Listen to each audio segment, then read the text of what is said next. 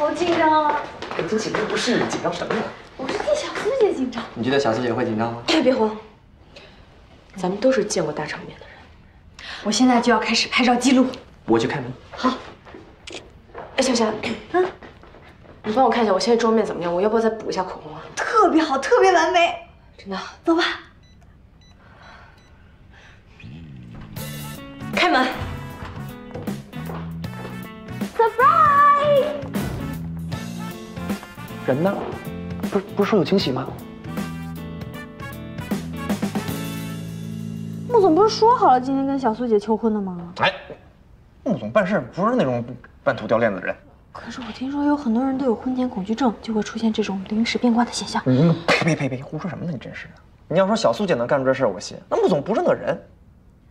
小苏姐，我刚刚都是胡说八道，你你千万别当真啊！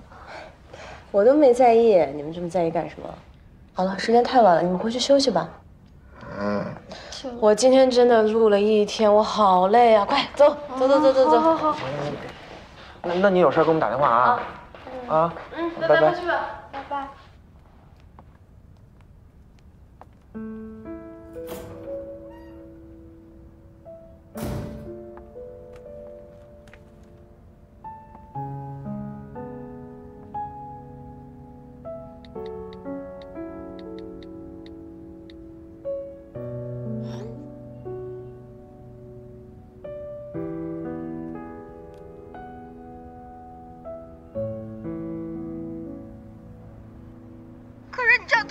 怎么接受啊！我嫂子突然从一个女演员变成了地质女博士，名字、性格、工作，她全变了，这太突然了。小声点，咱们上车说。真的说明什么呀？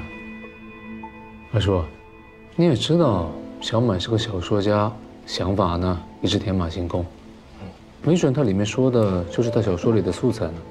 倒是二叔您，连这个都要记录。最近很闲，没事做。哎呀，不愧是牧师的总裁，能说会变，巧说如簧。好，那你帮我解释一下，这份材料又是谁的素材？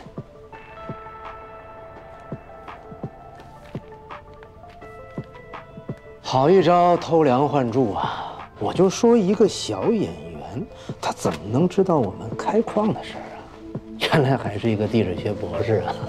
我小看他了。哎，你说我要是把这些东西，就往网上一发，会不会炸了？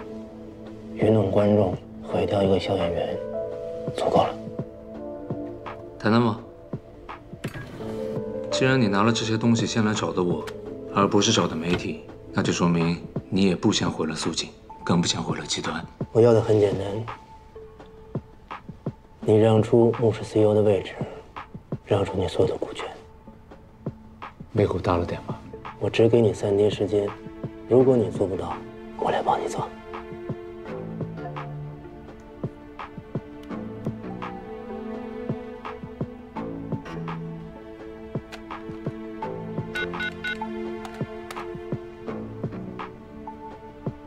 高磊，私下找一下财务，查一下二叔。你猜？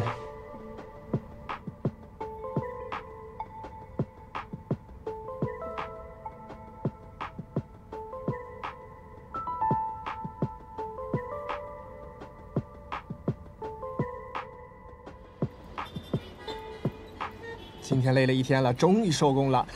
哎，我电话呢？在我这儿。有来电话吗？没有。不会从昨晚到现在。穆总都没有给你打电话吧？难不成真被我说中了？他后悔了？这也太奇怪了！你整天就知道胡说八道。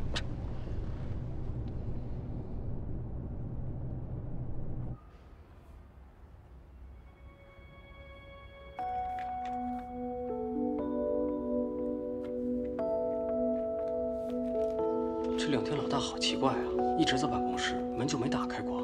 高秘书也在里面我怎么感觉有大事要发生啊？不是出现财政危机了吧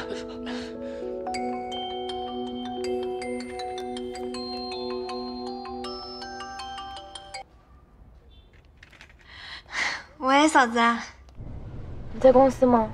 我在啊。你哥在公司吗？呃他也在。小满我希望你跟我说实话。你哥是不是出什么事儿了？怎么可能？嫂子，你为什么这么问？我哥他这么大人了，能出什么事儿？他昨晚夜不归宿，而且到现在已经一天一夜没有回我消息了，连电话也没有打。嗯，我听高领说，公司最近接了几个大项目，所以他可能有点忙吧。你也知道他，他是个工作狂，忙起来就没有白天黑夜的。小满，我希望你不要瞒着我。不管发生了什么事儿，我都希望可以跟你哥一起面对。嫂子，我跟你说实话吧，真的出事，而且特别严重，我都快急死了。不是，到底什么事情啊？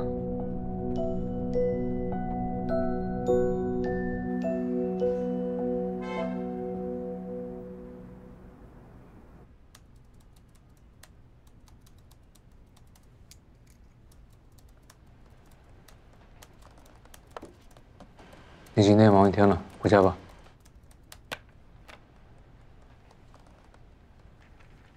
你怎么来了？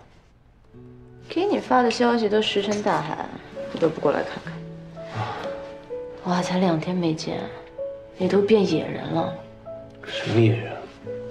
摸摸你这胡茬，好渣哦！才渣！干嘛？就因为我这点胡茬，就影响在你心目中的形象了？那倒不至于。你累不累？本来是不累，你这一来，突然就累了。给你按按。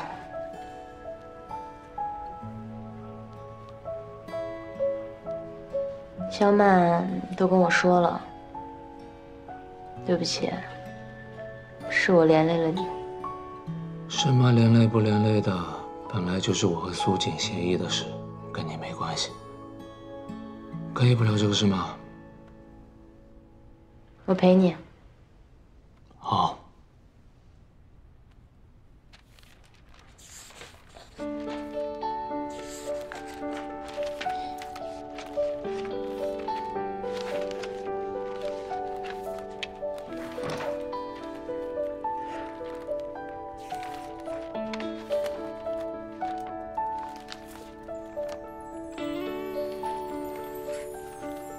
看这个，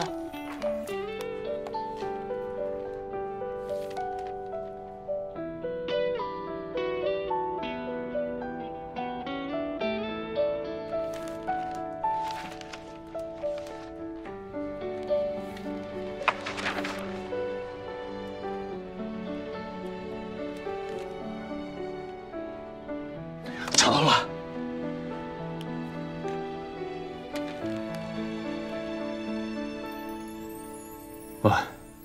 发给你了，看到了吗？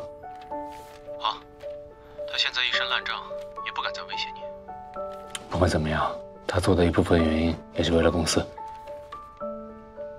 先这